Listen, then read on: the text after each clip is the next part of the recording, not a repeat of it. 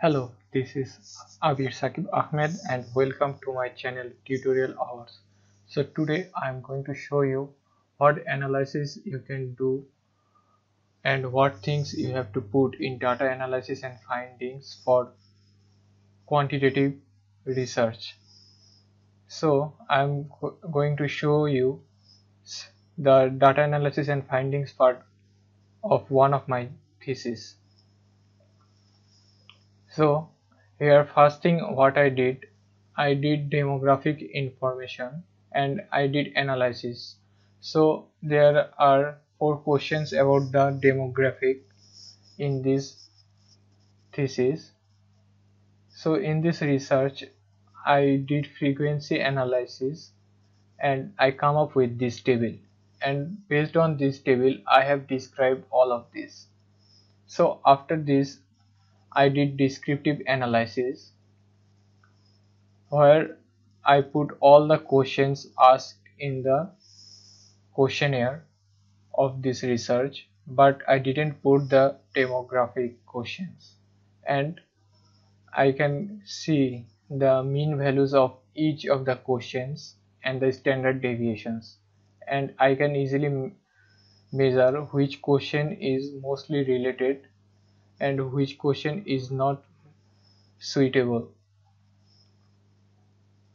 And based on this table I described like the mean value is 3.93 and the standard deviation is 0.17 so the second highest mean score of this question and overall staff behavior of the canteen is satisfactory with the mean value of 3.80 and standard deviation of 0.823 so this is the way you can describe the descriptive statistics. So after that I did reliability analysis where I come up with the Cronbach alpha. And as I said my sample and my data number is 40 and the Cronbach alpha is 0.919 which is quite good because your Cronbach alpha must have to be more than 0.7 so that you can go further with this research. So after that I did reliability analysis for each of my variable and the questions I have asked like under the, the price fairness of food I have asked 4 questions and my Cronbach alpha is 0.741 which is also more than 0.7 so uh, I can go further with this research. And I have come up with all the Chrome Cronbach alpha differently for each of the variables even the dependent one which is student satisfaction. After that I did factor analysis where I did KMO and Bartlett test. And the results are quite good also here. It's 0.750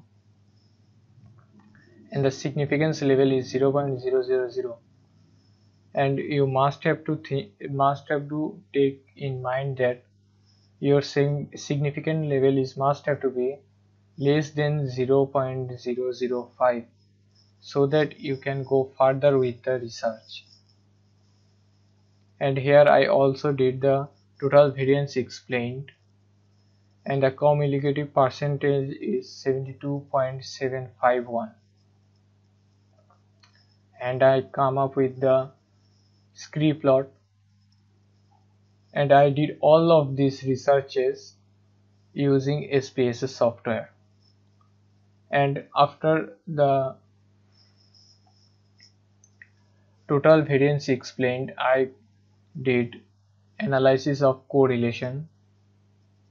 So here I mentioned the Pear, Pearson's correlation scale.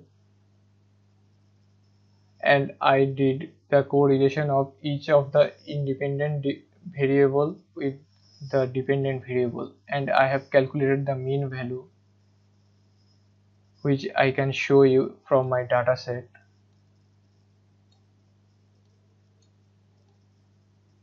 Here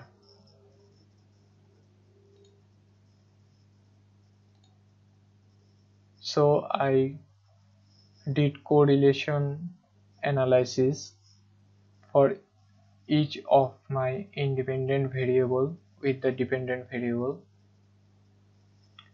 and I summarized all of my correlations in one table by using SPSS software. After that I did regression analysis which is very important and I come up with this ANOVA table and the significance level is 0.000 so I can go further and I did, I did coefficient table where I found that the significance level for cleanliness and staff behavior is very less is 0.003 and 0.001 which is quite good because your significance level is must have to be less than 0.05 if it's more than 0.05 you cannot take those variables. Like for me food food price fairness and food quality. The significance quite the significance is quite higher than 0.05 so I cannot go with these two variable.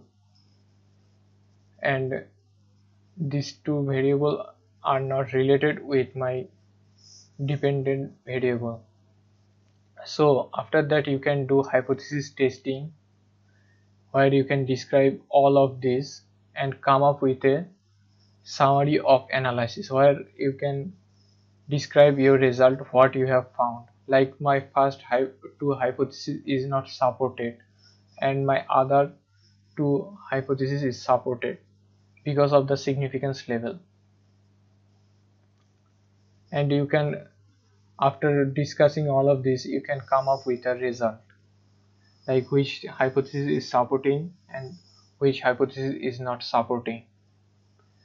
Hopefully this video will help for the new researcher and those who, who want to learn more can check my other videos where I have teach and showed the way how can you can use SPSS software to make all of these tables. Thank you for watching this video and don't forget to like share and subscribe